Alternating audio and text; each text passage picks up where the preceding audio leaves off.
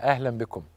الحاجة اللي ممكن تخلق مجرم اللي ممكن تحول مسار إنسان من اتجاه لإنسان لاتجاه تاني اللي بتظل زي ما تقول شوكة في جسمه وفي آه، عقل وفي وجدان كل بني آدم هو التنمر. التنمر خطر جدا يا جماعة.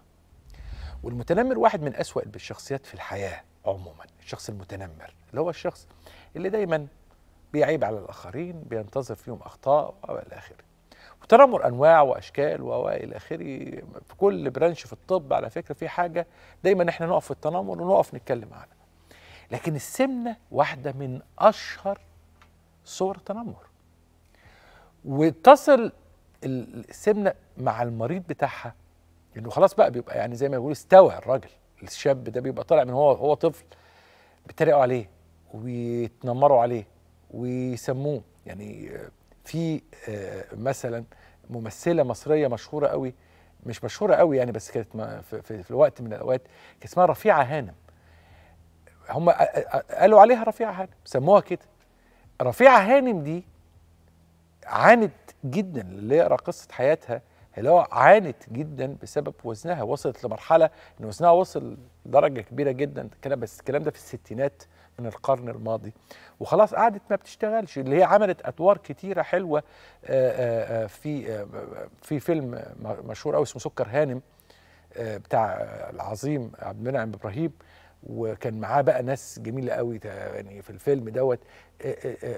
كانت موجودة في الفيلم. ادوها دور في الفيلم. تختوخة كده وبتاع. تخنت جدا سموها رفيع هانم تنمر. هم بيتنمر كانوا بيتنمروا عليه في الوقت ده. صحيح. التنمر خطير جدا لأن التنمر بيخلي الإنسان مش عارف يعيش. آه، خلاص التريقة النظرة آه، حد يعني جايبين هنا مثلا في الفيلم ولد مش تخين قوي ولد تخين شوية خلاص هو بينعزل. ويتسمى بقى يتسمى باسم معين لدرجة إنه لكم أن تتخيلوا مثلا إن واحدة من الشخصيات الشهيرة اللي كتبها العبقري نبيل فاروق زمان من المغامرين الخمسة. إحنا الجيل بتاعنا بقى اللي نام على الحكاية دي. كان اسمه تختخ. محمود سالم آسف. محمود سالم العبقري برضه ما هو الاثنين عباقره الله يرحمهم. محمود سالم عمل حاجة اسمها المغامرين الخمسة زمان. كان البطل بتاع المغامرين الخمسة اسمه توفيق. طب آه، صحابه كانوا مسمينه إيه؟ تختخ. وفضل تختخ ده في وجداننا وكانت أعتقد إنها ما كانتش مناسبة لأن كان كل الناس اللي تخان كانوا يتقال لهم فلان ده غلط غلط كبير جدا. لكن هنعمل إيه؟ الأطفال صعب التحكم فيها في الموضوع ده فنعمل نحارب السمنه الأهل لازم يحاربوا السمنه وأوعى تتنمر بابنك بقى ما يجيش التنمر من الأهل. ما يبقاش الواد رايح جاي يدخل البيت يلاقي أبوه بيتريق عليه ويلاقي أخوه بيتريق عليه ويلاقي والدته بتتريق عليه ما يصحش. ده بقى ده بقى الغلط الكبير. طب نعمل إيه؟ نقف جنبه. ودلوقتي جراحات السمنة أجمل حاجة بسمعها إنهم كل شوية بيقدموها. في دلوقتي آه، جراحات بتعمل في سن مبكر. هنسأل النهارده ضيف العزيز في هذه المنطقة المهمة جدا. طبعا اسم متميز للغاية وقيمة علمية كبيرة بتبقى دايما حواري معاها في الدكتور. شيء يدعو للسعادة ويدعو إلى ال- الكثير جدا من الحماس العلمي. ضيف العزيز هو القيمه العلمية الكبيرة الأستاذ الدكتور كريم صبري أستاذ جراحات السمنة والمناظير بكلية الطب جامعة عين شمس المدير لوحده جراحات السمنة بمستشفى وادي النيل وزميل كلية الجراحين الملكية بإنجلترا وعضو كلية الجراحين الأمريكية والحاصل على تصنيف جودة دولي في جراحات السمنة أهلا بيك يا. أهلا وسهلا النهارده هبدأ بالأطفال أنتوا دلوقتي احكي لي بقى يعني كده الأول مقدمتك الحلوة عن جراحة السمنة في. هقول ال young adult أو الأطفال الأطفال طبعا من سن 11 سنة يمكنهم إجراء العملية بس يكون وزنهم طبعا زايد فوق ال 100 كيلو يعني بال بال بال, بال, يعني بال, بال يعني حاجة بسيطة يعني.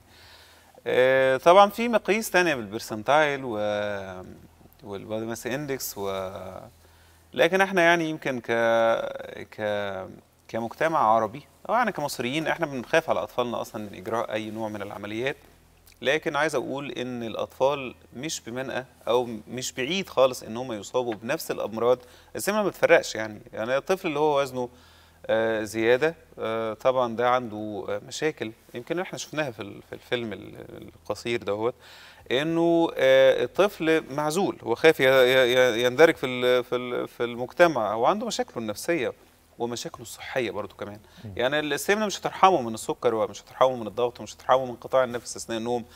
اللي هو قاعد طول الليل يشخر وما بنامش. طول اليوم طول النهار نايم في في الفصل بتاعه أو المدرسة بتاعته طبعا طول الوقت.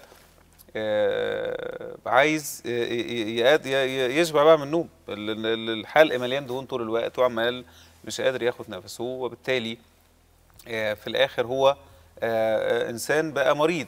فاحنا طبعا ما عندناش آه، فرق خالص ما بين الأمراض إن هي تصيب الطفل وتصيب الناس الكبيرة.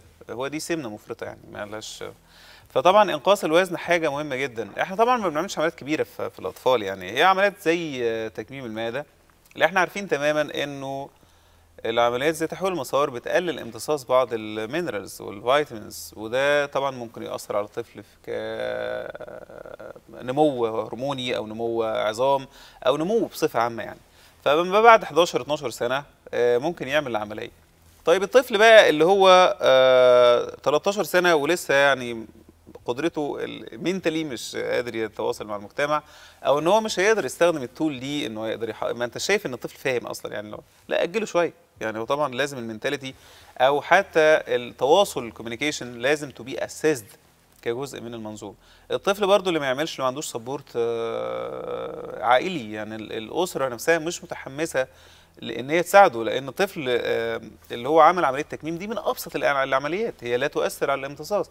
هي عمليه أنت شلت جزء من المعدة صغرت حجم المعدة يعني آه، فده معناه إن هو يعني لازم يحافظ شوية من السكريات من الشوكولاتات من الآيس كريم وده صعب جدا.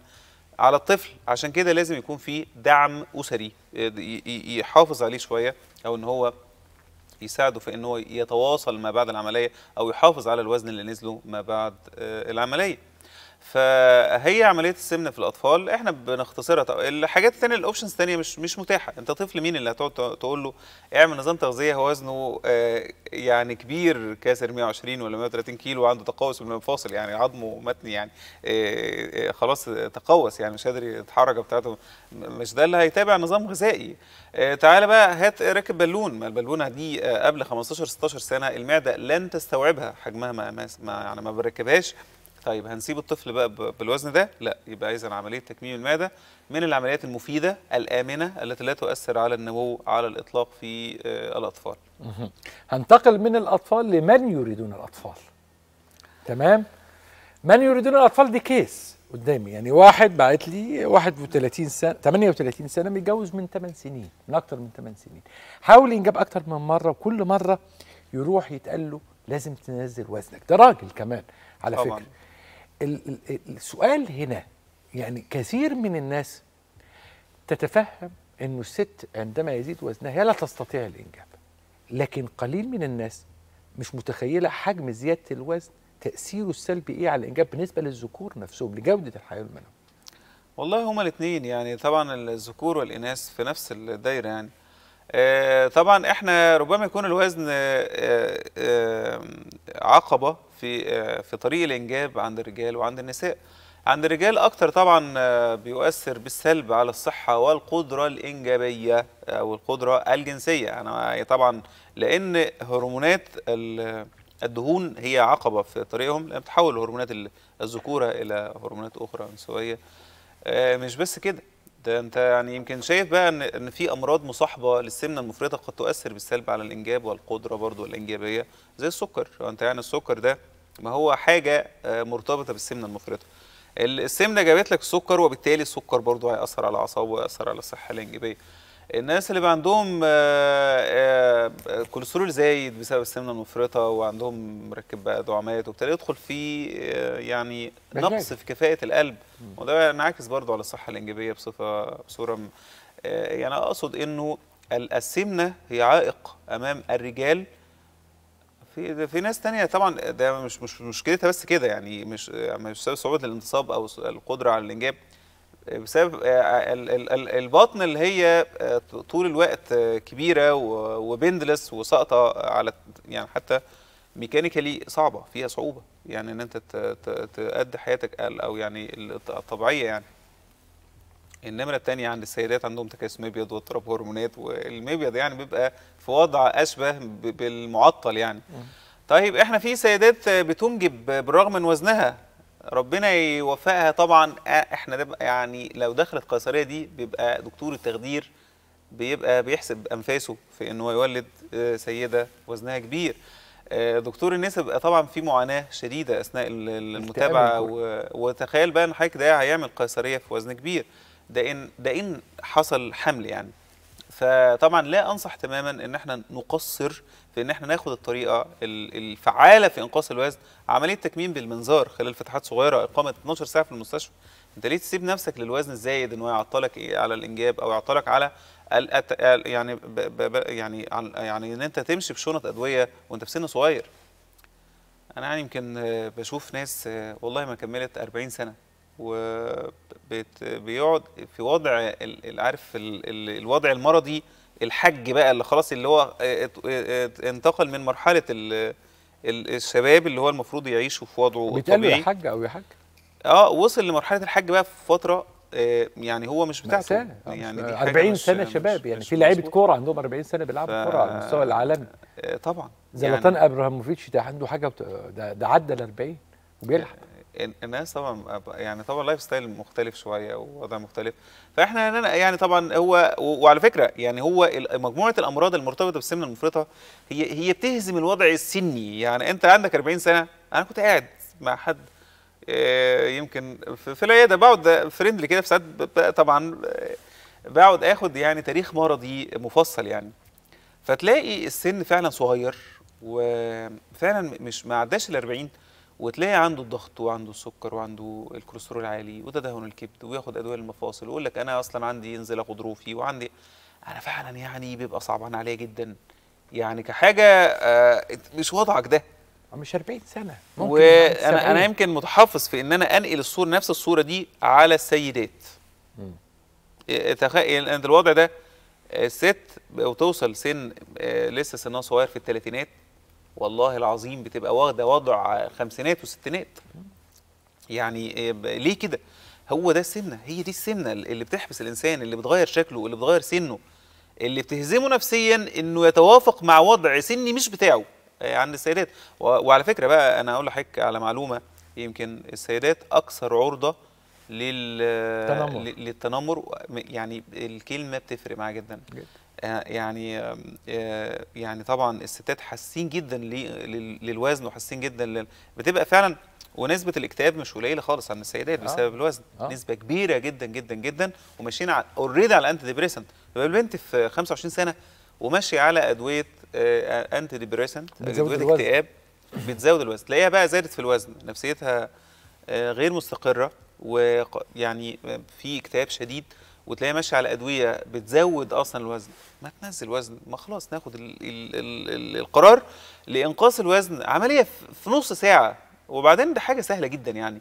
يعني البنات الصغيرين والأطفال ال- الجراحات فيهم سهلة. يعني إيه سهلة؟ هو ده أحسن واحد يدخل بنج هو ده سن صغير. احسن واحد جدار بطنه malleable يعني س- سهل ان انت تشتغل فيه بالمنظار. احسن واحد دهونه غير في دهون كده بتبقى معلش. resist لا دهون فعلا sticky يعني صعبة. آه. وتلاقي ال- الحركة في البطن صعبة من كتر الدهون. يعني تخ- اتخشبت في ال- في البطن. فطبعا ال- ال- السن الصغير دول لا لسه. يعني دول كويسين جدا في الجراحة. الحوار معك متعة خالصة شكراً. جدا. في كشف اولا النقاط العلمية المهمة جدا الربط بين ال situation الباطنية مثل تأخر الإنجاب مثل تكيس المبايض مثل السكر مثل الضغط وحالات السمنة وأيضا تفاصيل الجراحية هتلاقوها دايما في حواراتنا مع ضيفي العزيز. الاسم المتميز للغاية الأستاذ الدكتور كريم صبري أستاذ جراحات السمنة والمناظير بكلية الطب جامعة عين شمس والمدير لوحدة جراحات السمنة بمستشفى وادي النيل وزميل كليه كليات الجراحين الملكية الإنجليزية والأمريكية نورت شكراً. وأبدعت كالعادة في جزيلاً. الدكتور. هيبقى الحوار مستمر ولكن زي ما أنا بقول دايما بصوت المريض ومن غرفة الجراحات. وهذا أمر نتمنى أن نراه كثيرا جدا لأنه بينقلنا إلى زي ما بيقولوا من الناحية النظرية والشرح النظري إلى الحوار العملي إلى غرفة العمليات. خليكم دايما مع دكتور أنا اسمي دينا وزني 116 116 سني 21 سنة. آه، كنت من وأنا صغيرة مليانة أصلا بس كنت بزيد وبتخن وكده. في آخر فترة كنت تعبانة جدا من شكلي فجأة زدت جدا. بعد ما قعدت من الجامعة أخدت الأجازة بقى وكان عندي فراغ للأكل ومش بشتغل. فكان وزني زاد جدا وحالتي النفسية تعبت بقى وبابايا حتى لاحظ ده هو مامتي ما كنتش بنزل آه، بنزلش خالص ولا بروح وباجي و فبابايا كان بيشجعني إن أنا أجي أعمل العملية دي.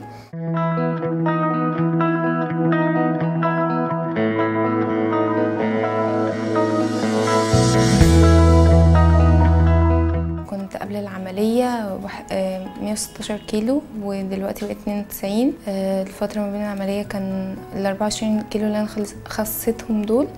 آه، كان في 3 شهور.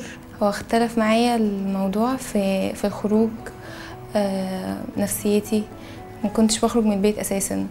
دلوقتي بقيت بخرج آه، لبسي. كل ما ألبس حاجة كانت قديمة عندي ما بعرفش ألبسها بسبب وزني أو شكلي فيها ما كانش حلو دلوقتي بقيت أعرف ألبسها وببقى مبسوطة قوي قوي قدام نفسي قدام المراية. لو انت عايزة تبقي أحسن وتقفي قدام المراية ومبسوطة بنفسك لازم تعملي ده. ولازم تاخدي القرار ده.